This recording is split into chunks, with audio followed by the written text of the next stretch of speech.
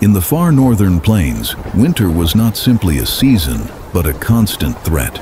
Temperatures could fall so low that human breath instantly froze in the air, and every step across the wind-beaten snow felt like walking against the edge of survival itself. For countless generations, Native American families faced winters that could last for many months, forcing them to find shelter that could protect them not just from cold, but from storms capable of erasing entire landscapes beneath snow. Above ground, the icy wind could steal heat faster than any fire could replace it, so survival required something more than a simple shelter.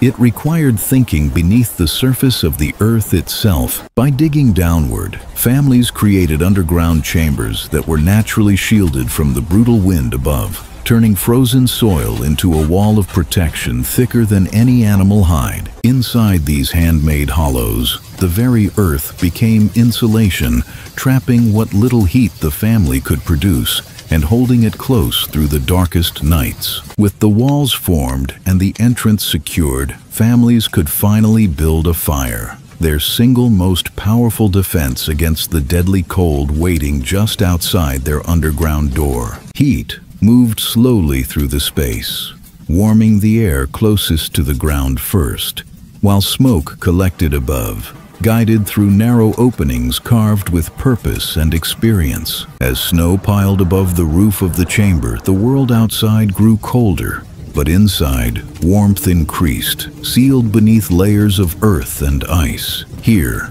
families gathered close to the fire, wrapping themselves in heavy fur blankets, letting the underground quiet replace the roar of the wind above. With each passing night, the earth shelter became more than a place to survive. It became a place to live, to rest, and to wait for warmth to return to the world above. Careful ventilation kept the fire burning without filling the chamber with smoke, allowing families to breathe and sleep through long frozen nights beneath the surface. Wooden support beams, placed carefully along the walls, prevented collapse and turned loose soil into a structure strong enough to last an entire winter. As storms howled above, the underground shelter stayed quiet, where earth and snow worked together as walls against the cold. Inside these hidden spaces, families cooked, repaired clothing, shared food, and turned survival into daily life. Even when storms blocked every path, the underground shelter allowed life to continue without facing the deadly cold outside. Food preservation was essential, Dried meat, fat, and berries stored in cool earth walls lasted for months, carrying families through the longest winter nights. Children learned slowly, watching elders manage fire, ventilation, and storage, preparing the next generation for seasons of cold that never forgave mistakes. Each underground chamber was built with intention. Where to sleep, where to store food, where the fire could burn safely through the coldest nights. Families spent entire winters below the surface, surviving storms strong enough to bury the land above until spring. When the storms finally passed, people emerged again, climbing toward light, stepping carefully into a world still frozen but slowly beginning to breathe.